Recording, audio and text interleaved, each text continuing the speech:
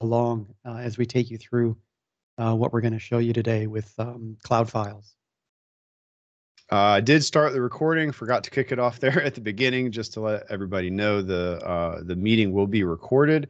The meeting recordings are posted in the Cloudy County team that uh, everyone should have been invited to as a guest. So if you haven't gone through that process yet, uh, that's it gives you access to the team where we store resources and post news and stuff like that.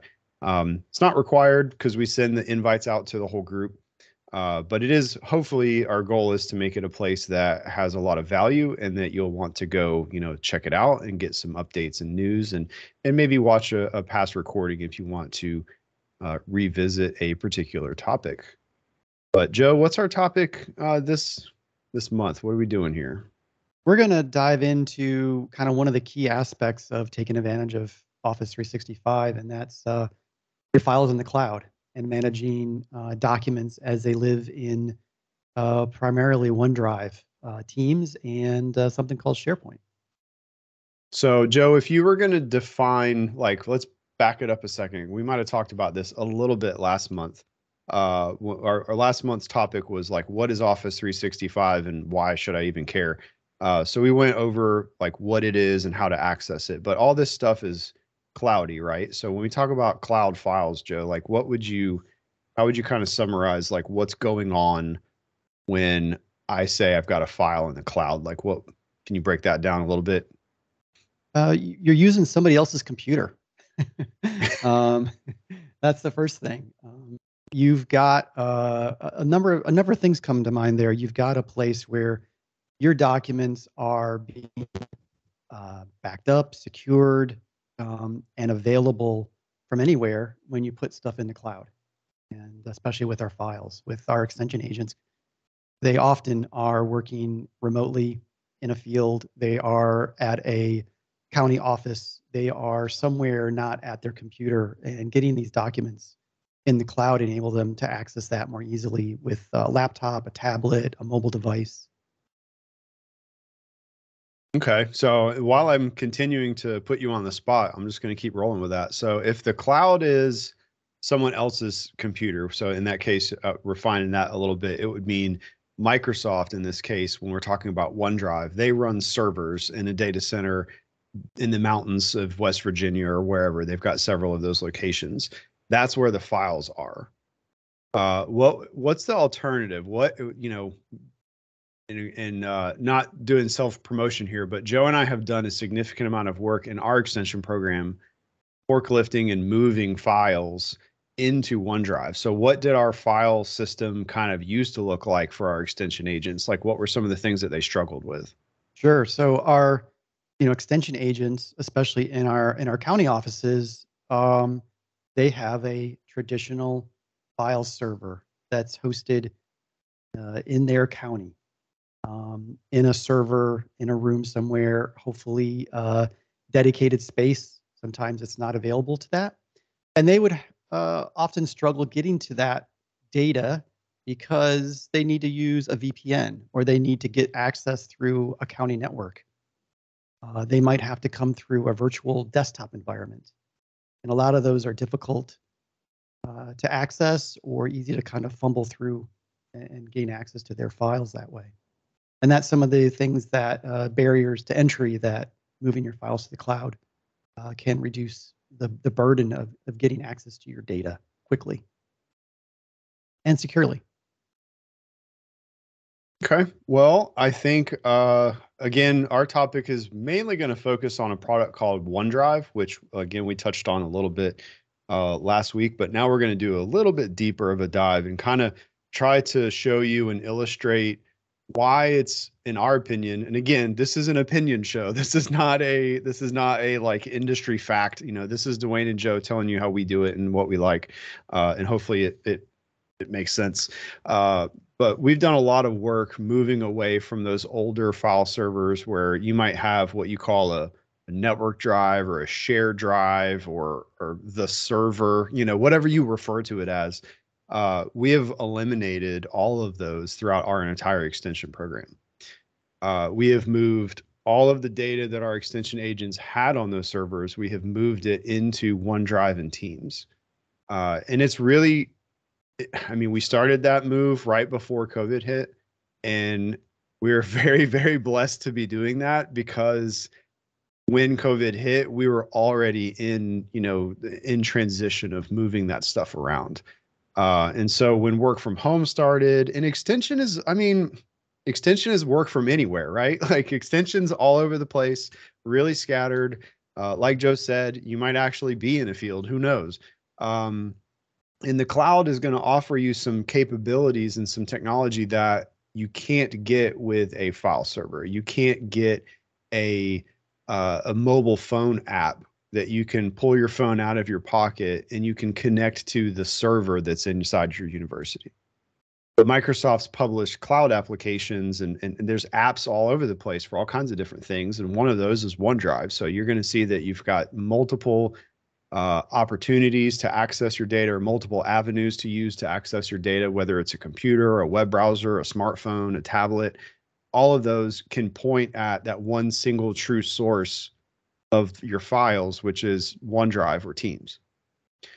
So let's uh let me read through. So uh, Ted's saying that they're having kind of the same the same issue, you know, and this is the thing I really um like we do extension in Florida, and I have some experience with extension in other uh, other states, but it's really cool to to hear, you know, and, and see how are other universities doing it so that we can just get a, a better idea just for our own understanding and, you know, how we can kind of group think on some of these, uh, some of these things. So, uh, Penn State has moved over to OneDrive from Box and previously county servers before that. Uh, so they had like a little cloud stepping stone in, in between there, it sounds like. Um, Cornell supporting Box, but using Teams, and I assume uh, OneDrive uh, with that as well. Uh, so we're going to show you some basics and get started. But Joe, you look like you about to. Yeah, one one thing. Um, you have a, a graphic sometimes you like to show. I can't remember if there's a short URL for that about um, when we put our files in the cloud. Where where do they go? Um, and you mentioned, you know, the East Coast somewhere in some data massive data center run by Microsoft. Um, I think we like to talk about that a little bit um, with our extension agents and our researchers around security of those files uh, and their availability. And when we put those files up in OneDrive, there's also a process that we like to talk about where that data is replicated to the other coast. Somewhere there is a, a partner data center on the other side of the, the country where your files are replicated to.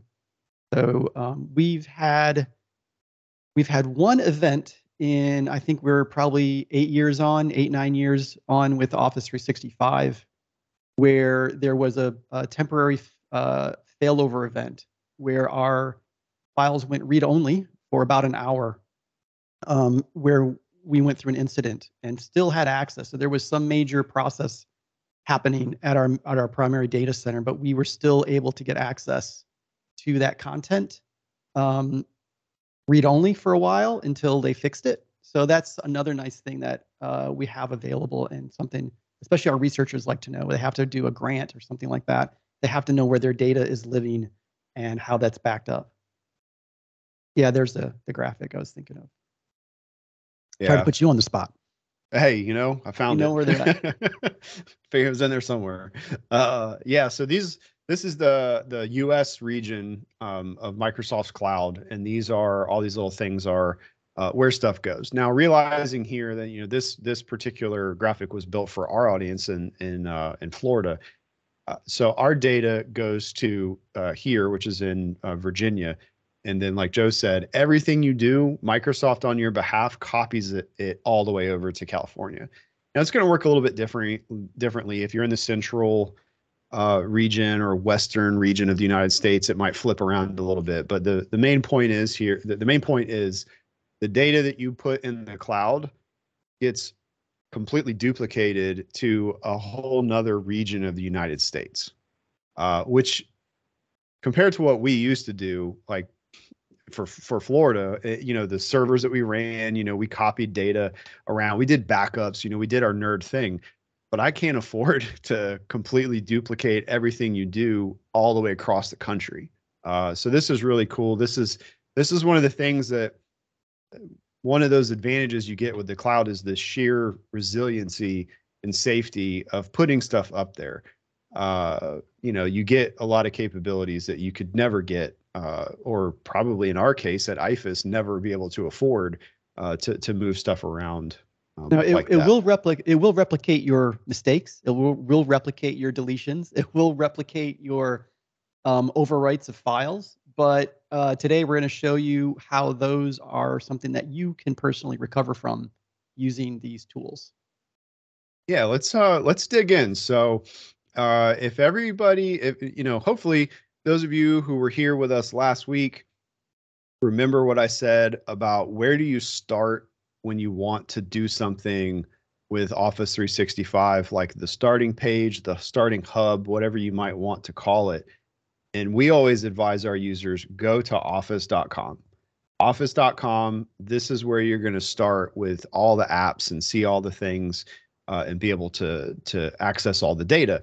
And again, you can use right right here. Uh, we're already showing the the flexibility of this is I'm already seeing files, and I could do this from my home computer. I could do this from my parents' computer if I was at their house or you know wherever you might be visiting family. So because this stuff has been lifted up into the cloud and has been put in a location that's centrally accessible, you get options for accessing it. There's no VPN. You know, if if y'all are familiar with using VPN, uh, I didn't have to do that here. I see a comment about um, confidentiality and uh, hacking potential and those types of things. Uh, that's a good point to bring up. If you say my data is more accessible, does that mean it's more accessible to hackers as well? Uh, and in my opinion, I would say it's it's even safer because you're going to see as we go through this, your recovery capabilities, if there was a hack, are way way more powerful uh, than what we were able to do with file servers in Florida. Uh, your account credentials, you know, the account that you use to sign in here, that's where that security starts. So hopefully your university is using some sort of um, multi-factor authentication. You may hear it called 2FA, MFA, Duo, uh, Authenticator app, you know, those types of words. Basically, the fact that to sign into a service, you also have to like get your phone and push a button on your phone or do do something, uh, do something there. So that's the first biggest level of security or biggest layer of security there is protecting your account. Um, Once you uh, get in, or go let ahead, me, Joe. let me follow up on that a little bit more is um, some other things there, I think maybe around your confidentiality agreements and things like that. Um, everything that is stored in uh, Office 365 uh, at rest. So um, your files, when you're not using them up in the cloud, even your email, where your email lives, if you're using Office 365 Exchange Online, is all encrypted at rest. Um, what that means is those those files are if someone was to pull a hard drive and walk out of it somehow out of a high security data center they're still not going to get access to that content that's sitting there all encrypted. And your university has the potential to um, set up the ability where that encryption um, is only the university your university can even decrypt it. Um, also your university uh, may decide what types of files you're allowed to put up into the cloud. So you want to pay attention to what what they offer and, and allow. Microsoft, if you follow their guidelines, um, supports uh, uh, HIPAA, PHI, high trust, um, those kind of documents up there. They they provide uh, and approve of those kind of documents. Your university may not. You want to follow those those rules. Yeah. And that's important to note is your internal policy might be very different than what Microsoft says, here's what we support. And Microsoft, when you create a uh, subscription with Microsoft, you are protected uh, with a with an agreement um, that kind of covers you in case Microsoft screws up. Doesn't cover you cover you if you screw up, but it, it covers you if Microsoft messes up. So uh, so that's a good, that's a really good point to bring up, though. Is uh, uh, and we we hear that a lot. Like as soon as as soon as I put my files in the cloud, is my stuff at risk now of getting stolen or deleted or hacked, or is it still even mine? Uh, and I feel like the answer to that is yes, it's still yours, and you're going to see a lot of the. Really, I, I just really can't. I just need to show you. Like, I just need to shut up and start showing you.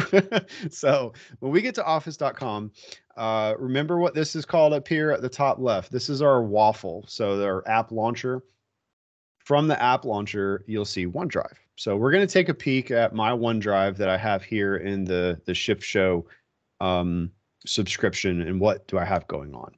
So uh, I can see the whole folder structure of my OneDrive. I can click on go into my documents folder. I've got a document here. I can click on it and I can work on it using Office for the web. Uh, this allows me full editing capability of this document. I don't have to have Office installed on my computer at all. This is totally free and included with every part of Office uh, Office 365. So I can work on my document, um, maybe add add some new stuff here at the bottom and it's automatically saved. So notice here, it's if you I don't know if you caught that, I'll let me kind of direct your gaze here to the top left. I'm gonna uh, type some stuff. It says saving, it's saved. So as soon as I make an edit, that edit is captured and saved and, and is a part of my document now. Uh, so that's you'll you'll see that in the desktop app as well. Uh, one thing that happens when that save kicks off is, um, and this is a beautiful part of the cloud, is every single time you edit a file and save those changes to that file, the cloud is going to create what's called a new version of that file. And this is one of the things that just absolutely blows like a regular file server out of the water. If you click on the document title and go to version history, you're going to see over here on the right that 55 minutes ago, I created this file and I don't have that edit that I did down at the bottom. But just now, I worked on that file and here is the edit and it's highlighted for me to let me know what's been what's the what's the difference between these two versions. What's been added. This is incredible because a backup like a traditional, like I'll put my IT nerd hat on for a second. A traditional backup runs at a certain time of day. You know, maybe your university backs up your file server at eight o'clock in the morning, 12 o'clock noon, and five o'clock in the evening. You know, and that's pretty aggressive backup schedule. That's pretty good. This is going to capture changes in a document within minutes. So if I go um, back to my document, and I'm going to add some more stuff. Document. Saving, saving, saving. Saved. Now, if I click this again and look at version history, well, I mean, come on now.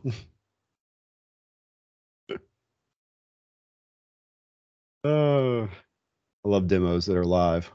Try that again.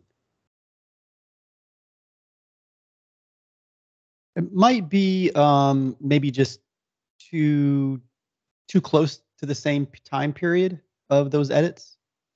Um, yeah. Maybe about five minutes between your you know your kind of edits and versions uh, are gonna kind of. There we up. go. There we go. I had to refresh. it's still it's apparently still like making a version, so we'll give it a second but you're going to get versions, uh, especially using the desktop app, which I'll show off here after this because the web app is a little bit different. Um, you're going to get versions. You know, Joe and I have seen versions that were two to three minutes apart from one another. Uh, so as soon as you as soon as you make a change, uh, you're going to have uh, you're going to have the the new version theoretically, if the demo actually would work. and we're getting uh, the default is 500 versions, so 500 um, you know recent kind of changes that happen over the lifetime of that document. The last 500 are going to be saved. Um, that's just a default. You can go, I think, to 50,000 if you really wanted to. Uh, we have some documents that we work on often that I think we're in what 1200 range of versions Mm-hmm. Um, and it, it keeps uh, it keeps the last 500 of those available to you. Yeah, there we go. Sorry about that. Cloud. Sometimes the cloud takes a minute. You know, all the gerbils and hamster wheels are running, and you know, then you get what you need.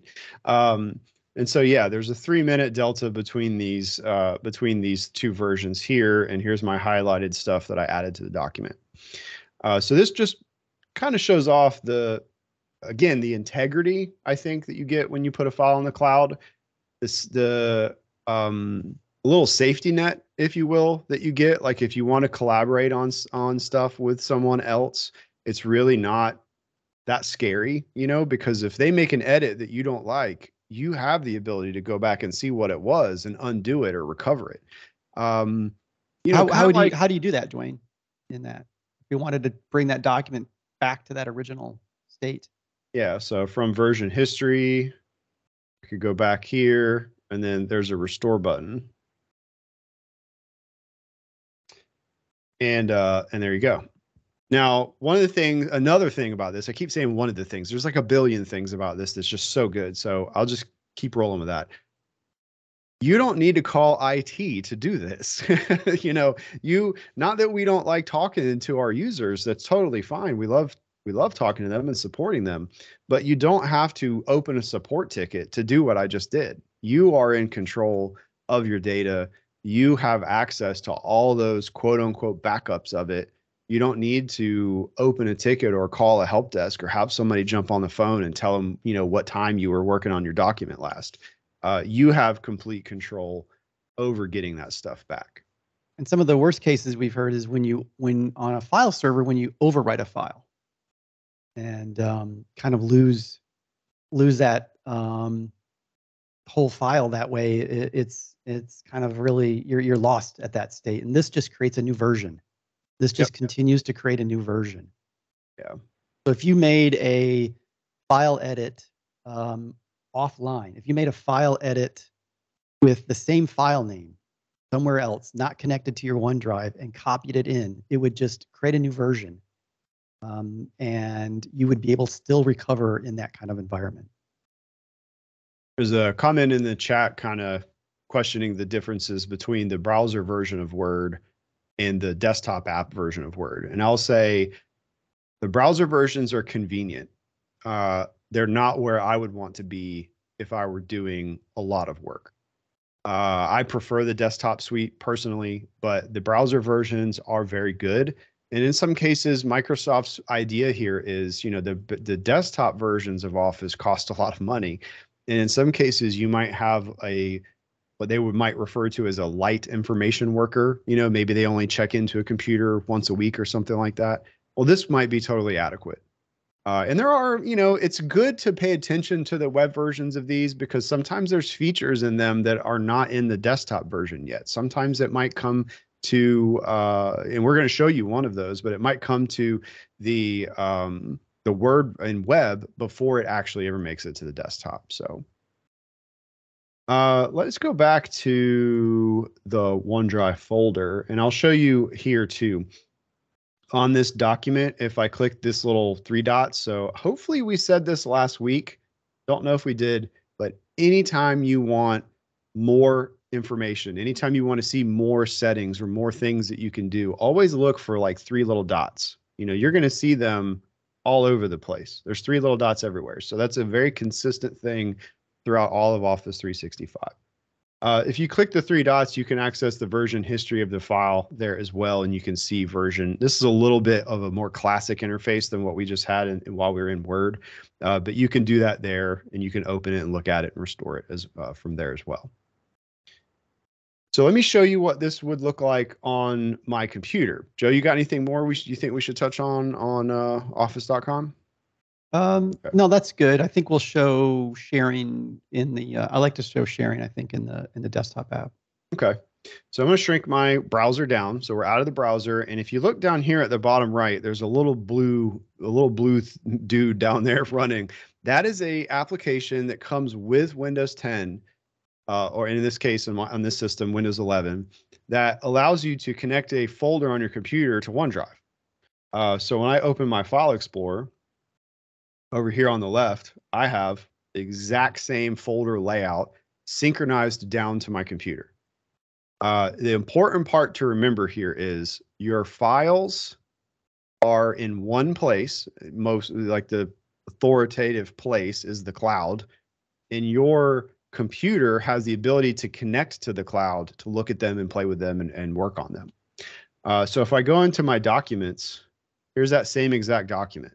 So I'm going to go ahead and open it up. Now I'm working in the desktop version of Word with more power, more capability, more plugins and stuff like that. So I'm going to go in here and I'm going to say, uh, this is another edit for the demo.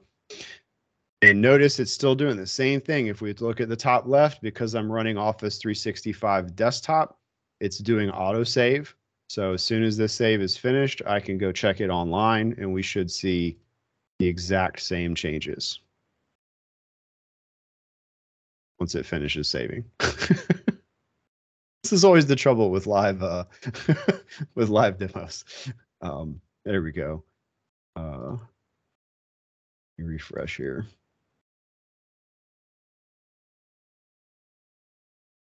Come on.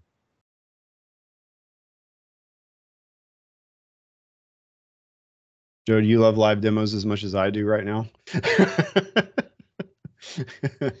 we'll give it a second. The cloud's running behind a little bit today. We'll keep moving, but trust me, this is the same exact file and it will synchronize. Uh, oh, there it went. It synchronized those changes. We it was saving to your your computer and then synchronizing. Yeah, or it's just going to make a liar out of me and uh, embarrass me. So that's okay. Thanks, Microsoft.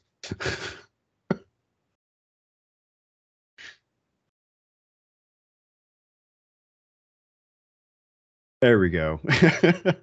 Give it a second. To, it's, it's cloud's run, it's running on its own time today. Um, I'm actually in this file twice. Uh, so theoretically, like you should be able to see like if it were synchronizing and working. There we go. It's actually co-authoring now. Like I'm seeing the exact same edits in real time as I make them uh, versus uh, if I were in the browser or in the desktop app. So you'll notice, like I said, the same exact structure, all these folders and files and stuff like that. You're going to see the same thing when you connect your computer to your uh, cloud OneDrive. Now you'll notice there's like all these little icons and stuff going on here. So let's talk about those icons for a second. Joe, we had a we had a picture somewhere. Let me see if I can find it real quick. Um, but you want to talk about what's going on here? Like I've got a good variety here. Sure, sure. There's going to be a different status for those documents that you'll want to understand. Typically, the default when you first connect OneDrive, the default is those files are going to only live in the cloud still, but you're going to know that they exist on your local computer. You're going to see the files, you're going to see the folder structure, but they're not yet actually copied. They're they're not. I don't want to say copy, but there's not um, the, the makeup of those files are not yet on your computer or your laptop um, until you click on them and open them. And then they change to a different icon. They go change from that cloud, that clear cloud, um, to a blue, uh, I'm sorry, a green icon with uh, a check. And that means that you've you've opened that file, you've worked on it locally, it's available on your computer at that at that time. If you were to lose internet connectivity, uh, walk away from your Wi-Fi connection, something that's green like that, you're still going to have access to and can open that file and edit it and work on it. And actually, when you do that kind of work, where you're doing that offline, you're not on a network connection. When you reconnect to the internet, that file is going to synchronize back up to the cloud, back into that file uh, for you. If you have been collaborating on a document with multiple people and perhaps you're responsible for you know page two of a document and they're responsible for page three those changes are going to automatically merge and that document is going to be just fine and the the, the third state of a document um, that you can see there is the solid green uh, icon with a, a, a light white checkbox and that is something that you've decided i always want this on my desktop, my laptop. I always want that file available to me. And that's something you would do prior to travel. Maybe you're going to go on site somewhere and you want this folder of uh, this project folder. You want that on your laptop. You can force that to keep it on your device, and it will always be there uh, available for you whenever you leave uh, leave your network. That's a good summary. Yeah. And, and it's important uh, to to note like your OneDrive capacity, depending on how your university has your OneDrives configured, your OneDrive could have a pretty significant amount of storage space. Uh, our OneDrives are set up to contain uh, 5,000 gigs is the capacity.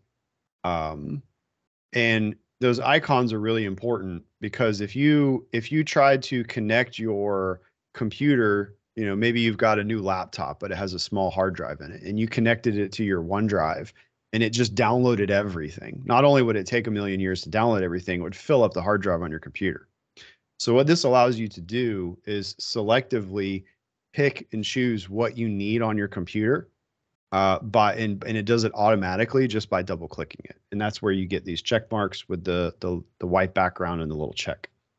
If you decide that you don't need these files anymore you know like i'm done with this entire folder uh, i'm done with this project you know what whatever it might be. So if i go to uh, my onedrive and i think i was putting those in pictures. Yeah so if i back up and i just right click and uh, go to free up space or you can do this little fly out in windows 10 it's a little bit different in windows 10 i think it would look more like more like this in windows 10 uh, you can say free up space and it's you're going to see the little swirly icon there for a second. Remember that swirl is like a file is actively syncing between your computer and the cloud.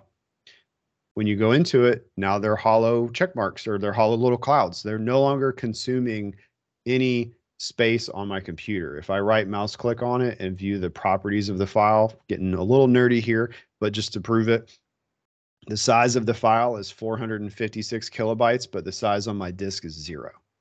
Uh, so this is how you can you can kind of game the system here a little bit with having five terabytes of storage in the cloud and running it off of a laptop with a 500 gig hard drive or 256 gig uh, hard drive. How do you uh, how do you check how much storage you've been given? yeah, find that. The easiest way to do that is if you have the OneDrive app running on your computer, and this is something I would, if you're using OneDrive now, follow along and you'll you'll see how this works on your system. If you right click on the little cloud down here near your clock, uh, and you're going to get this menu that pops down from the bottom or from the top, sorry. Uh, and if you click settings, it's going to show you right here how much you're using out of how much you've been allocated. Now, this is a demo computer, a demo account, so I'm not using a whole lot. Uh, but it's really nice to see like I've got five terabytes of storage. That is a lot. That's a whole lot. Your university might be different. They may have it set to one. You may have to ask them to set it to five. They may set it to five out of the box. I don't know, but uh, it can go to five, and that is free of charge uh, from from Microsoft. It it um, technically can go up to 25 terabytes. Yep, um, is Yeah. the maximum that that can be pushed. It just depends on, again, some some licensing and the number of accounts you have in your subscription. But Uh, typically, typically in EDU, you're gonna.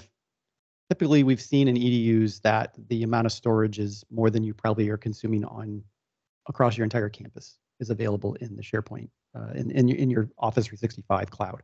yeah, yeah. We we've we've uh, done a lot of moving for our extension program, and they didn't have enough to fill up two teams worth. Yeah. So. Uh, but this is yeah, that's the quickest way to see how much space you have, how much space are you using. If you want to have a more technical breakdown of like where am I using space, like maybe you're trying to track something down, you know, maybe you've got a whole bunch of data being consumed and you can't figure out where it came from. If you click this manage storage link right here, it will take you to your web browser to a special little page on office.com that's connected to your OneDrive and you're going to get like a breakdown of where are the folders that are the biggest and then you can like drill into them and say okay uh, i'm in teams chat files and now i've got you know these this is using a whole bunch of of space now and you would be able to discover that and again you don't have to call anybody you can go right into right into this yourself uh, through the through the OneDrive page.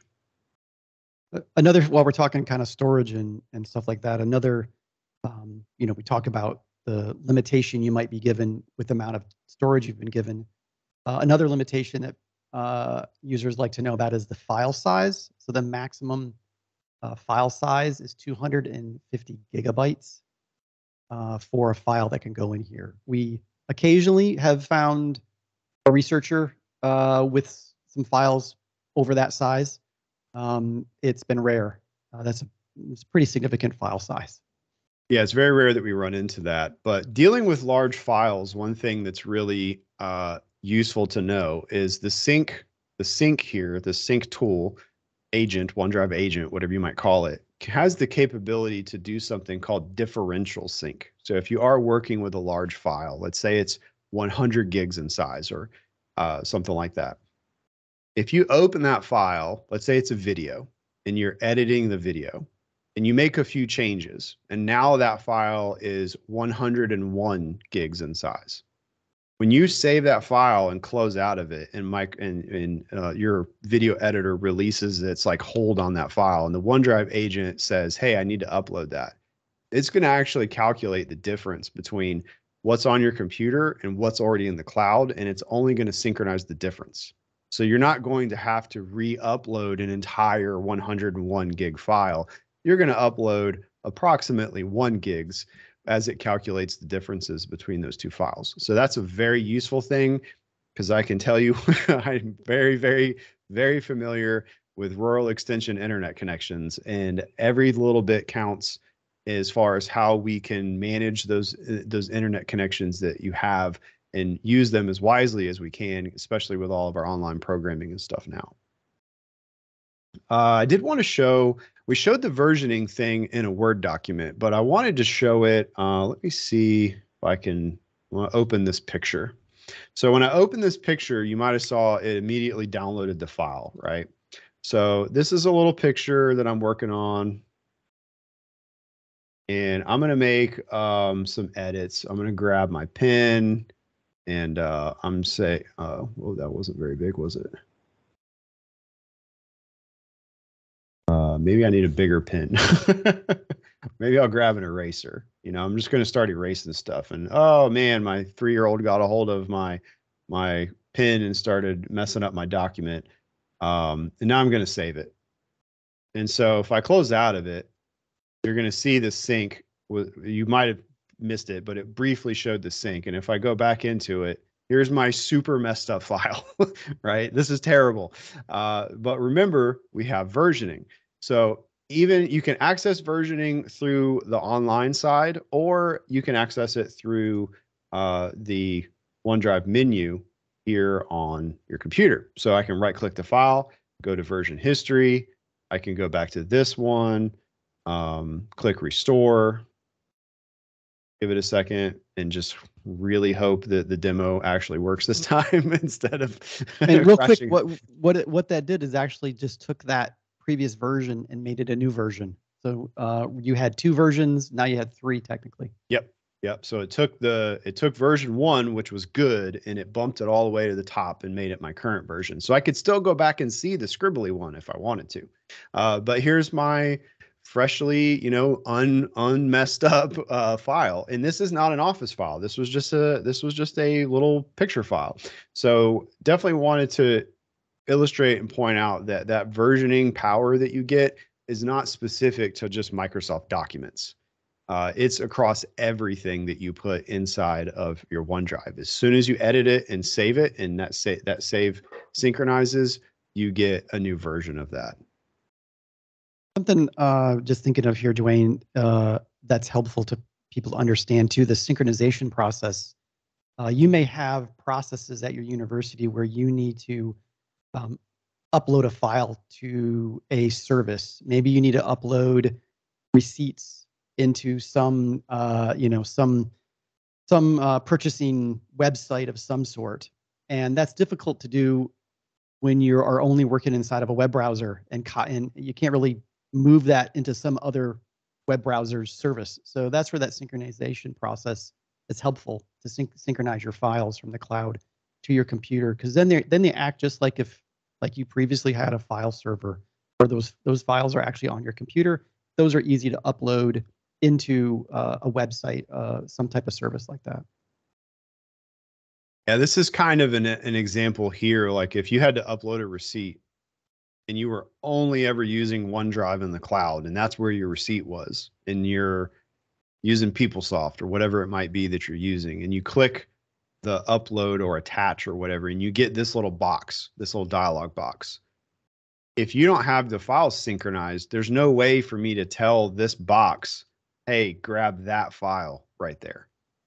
Uh, so so what Joe's saying is is we run into this a lot, and so we have a lot of users. Most of our users, in, in fact, in IFAS, we've actually configured all IFAS systems to automatically log the OneDrive agent in and initiate sync. Uh, so it happens automatically for for our people right now. But you may, depending on what your university is doing, you may need to actually go and type in, uh, you know, OneDrive and start the app and sign into it. But yeah, that that is a very good point. This gives you the ability to work with files that are in the cloud, but still look at them like you would if it was a network share, like through File Explorer. Now, this is what uh, we're going to talk about some collaboration stuff. So, collaboration takes a whole new turn when you have files in the cloud if you have files on your file server, you can share them probably with each other, uh, other people within the university, but getting files to people outside the university can be a challenge. And one of the things that we see happen a lot of times is email attachments. and email attachments are very frustrating because how many of you have worked on a policy or a proposal or something like that and you've got like proposal V1 and then you send it out to all your your peers and they review it and they return back with like you know you send it to five people all five of them make their own edits and then they send back five different documents you consolidate it all down and then you send it back out. All right now here's proposal v2 or maybe you underscore dh and you got your initials on the end of it or final final final final. You know what? This is the final one. You end up with like 25 different files at some point that you're trying to reconcile and, and assemble back together. So, what I would kind of in, encourage you to think is this little mantra that somebody at our school said one file, one place. You want to keep the file that you want to be worked on in one place and provide everyone access to that place to work on that one file together. And uh, again, this is a cloud powered technology. This only is going to work in the cloud. So if you have a file, you can right click on it and we'll go to OneDrive and I'll say share.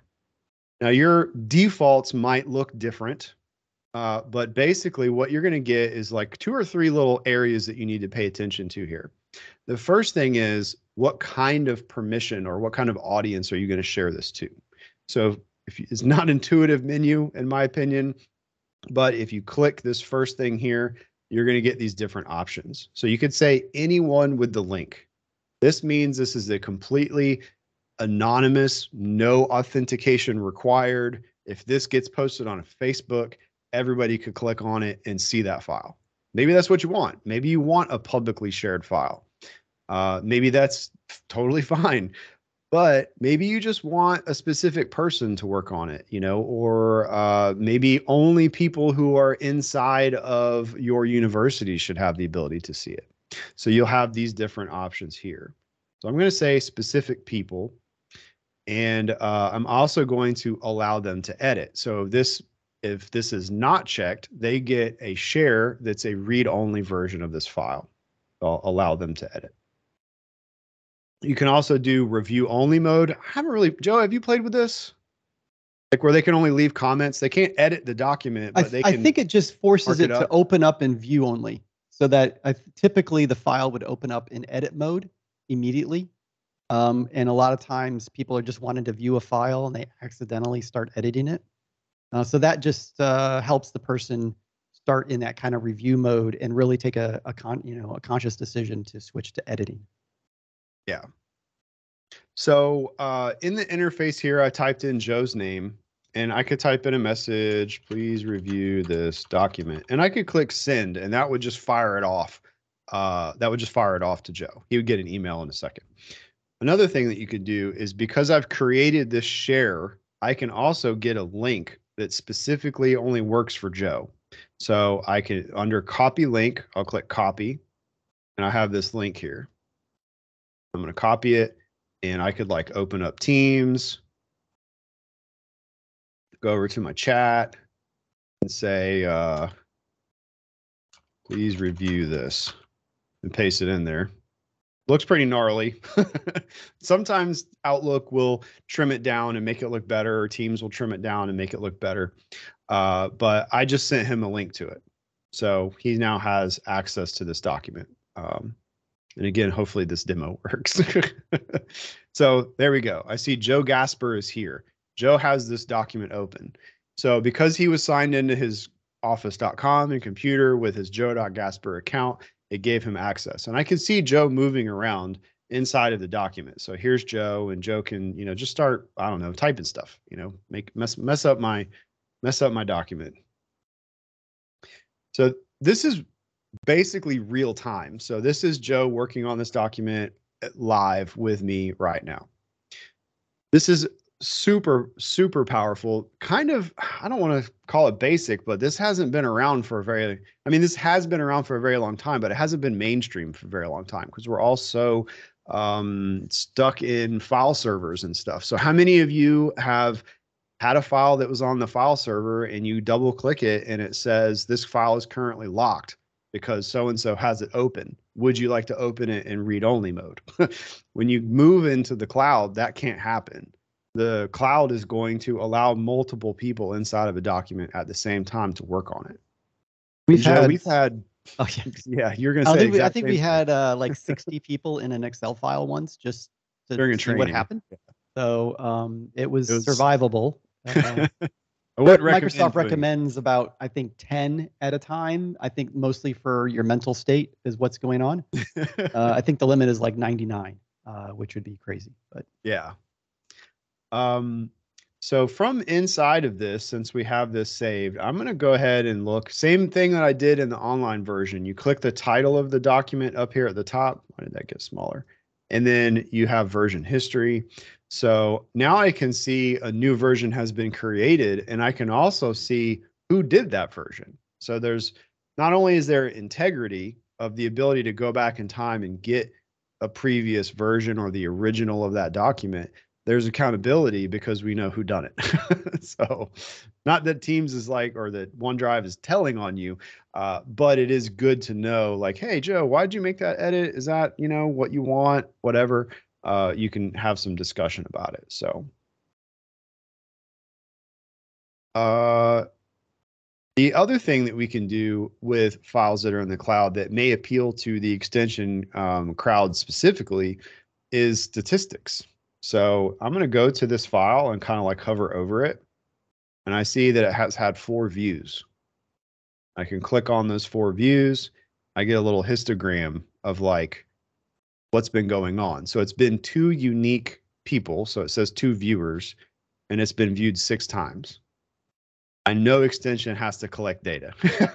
so if you were to share this file externally with a anyone with this link could view it, you would get some statistics on how many people were viewing that file and looking at it. Now you're not going to be able to collect demographic data, first name, last name, those types of things, but you will have some measure of impact of what happened with that file that you produced or put up. Um, and I'm going to show you a trick that I absolutely love to do when it comes to emailing files. Because I just told you earlier, stop doing email attachments and let's stick to, um, let's stick to, sorry, uh, one file, one place mentality. So when you're inside of Outlook, and I'll uh, send this over to Joe, and I'll say, uh, please review this file.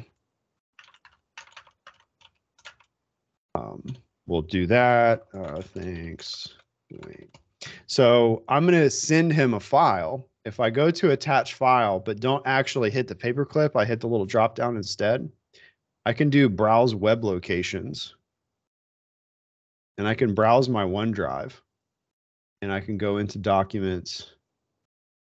And I can say share a link to this file instead of attaching a whole new copy of this file. When you do an attachment, you're creating a new copy of that file entirely. So if I do share a link, it looks just the same. It looks just the same way, right? It's still there on the little bar where files would usually be pinned. But when somebody clicks it, it's actually going to open the version that's stored in my OneDrive. So I've used this trick before. Don't tell my my users, but when we're about to do a big project, if I have a flyer or an announcement or an infographic or something that I've created, I'll email that to the distribution list and let them know, hey, here's what we're about to do. This is what it means, you know, and I'll have that flyer attached and I'll do a OneDrive share. And if I know I emailed 100 people and I go back and a couple days later and I look at the statistics and I see that only 25 people have actually looked at the flyer, I have a pretty good idea of how successful this project's going to be when I show up and start moving stuff around and they haven't even looked. Uh, and I know I need to take some more uh, initiative to get them to look at that data. This is like a really insider insider tip, uh, gaining access to those statistics uh, and using in that way. Um, Laura asked a great question about what if the people haven't been given, given access to the file yet? And that is something you need to take into consideration. Um, we might be able to change, you can change permission right there uh, based on how you want that file to be accessed, knowing your audience. Uh, so, like anyone inside the organization can view, that would work very well for my scenario that I just gave you. I'm going to email all the users at a research center and tell them, hey, I'm about to do this, I could just say anybody in my organization can view. Like, do I really need to be that granular and give 100 specific people access to the file? Probably not. Uh, you do have recipients though. Um, so if you did have 100 recipients on there, it's going to take care of that for you. Uh, if it's a public thing, you know, anyone can view, that would be a publicly accessible document. And if you have, uh, a document maybe has some sensitivity around it, if you were to put that in an email attachment, it's very easy for someone to email that around to other people um, or accidentally. Um, sometimes we have documents go out to a list serve where they meant to send it to a single person. If it's a share link that you've provided and you've set it to specific people, um, even if those people push that email out around to others, they're not going to have access to that document. So there is, you know, that can help you, um, you know, make sure you've got only the specific specific set of people you want to have access to those documents at any time. Yeah, you are in control, and uh, this will bring me to probably, I think, one of our last um, kind of concepts here with OneDrive and, and all that. You are going to see as you use Teams, you're going to see that there are there are files in Teams, right? These files are using the same type of storage system that OneDrive is using. OneDrive is your files. Like all these files that are in OneDrive belong to you exclusively, and you have the option, the control, the ability to make a decision on if you share something with someone. Uh, also, it's important to note that you can share an entire folder also. You don't have to share specific files. So th- that's the core difference. The, the, what I like to say is OneDrive is your files and Teams is y'all's files, right? Teams, the files that you put in Teams automatically belong to anybody that you add to the team. They're going to get access to those files to edit them, to work on them, and collaborate on them because that's what Teams is all about, right? It's about collaboration. I'm going to show you a super cool trick on how to make your life a little bit easier when you're trying to access files that you're working on that are stored inside of a team. You are not restricted to only going through this little files tab to find the stuff that you want to work on. So uh, if I go to my test team here and I click the files tab, you're going to see a button here that says open in SharePoint. Now, if you hear the word SharePoint, don't run away. It's not that bad. Uh, we've had a lot of people have used SharePoint in the past and been like, I don't want to deal with this. But just trust me, this is worth it. So let me let me just create a dummy file in here real quick. Uh, demo PowerPoint. I don't actually want to work on it. So we're going to close out of it. So now I've got a single file here, right? So I'm going to go and click open in SharePoint. And this is going to take me to the SharePoint site behind my team. So SharePoint, OneDrive, Teams, the storage is all fairly synonymous. They're all using the same technology. But the big, the biggest thing to take away from here is on this bar at the top, there is a little link that says add shortcut to OneDrive. If I click add shortcut to OneDrive, it's going to create a shortcut to the general channel of my team directly in my OneDrive. And if I go back to the root of my OneDrive, I now have this new folder with that little kind of hard to see. There's like a little chain link thing on it, and there's a little chain link thing there too. And if I double click it, there's a file that's inside of Teams. So I can connect this Teams storage of all the teams that I'm working on and kind of ad hoc bring in little bits and pieces of those into my OneDrive app so that I can just work on them just like I would any other file inside of my OneDrive. This what if you've got uh, two or three teams and you want to bring that general channel in? Yeah, so shortcut. this yeah, this is a good good point, Joe. Every single team has a general channel, so you don't want to end up with like a whole bunch of general channels. Uh, you can rename these shortcuts, and it Yeah. won't affect anybody else. That rename is a personal view to you only. So I can just um, right click here and just say test team uh, general, and that's done. Right. I like to put an underscore on some of mine if I want to throw them up to the to the top. So. Uh, we got three minutes left, Joe. We got anything? You got?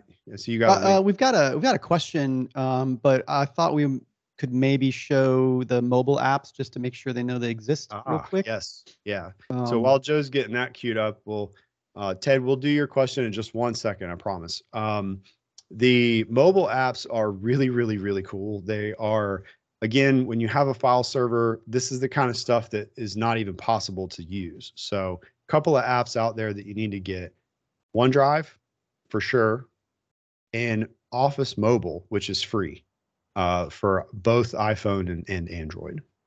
You can see uh, the OneDrive app here on the left. Um, here's a demo document that uh, we had had been shared with me.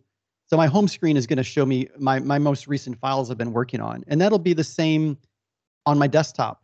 It will kind of match up. If I've been working on a file in Word on my desktop, I come into OneDrive homepage.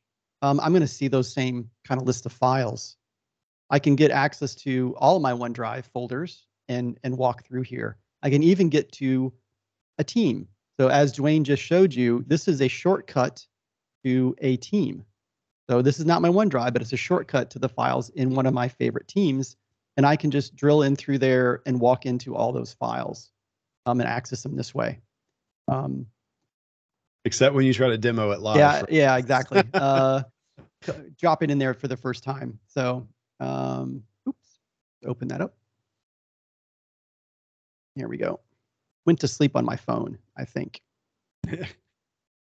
uh, yes, it did. So this is a little difficult to share your mobile devices through the uh, through uh, the internet uh, this way here. So let's switch to Office. Let's see if this one's still alive. Um, but this is the Office app.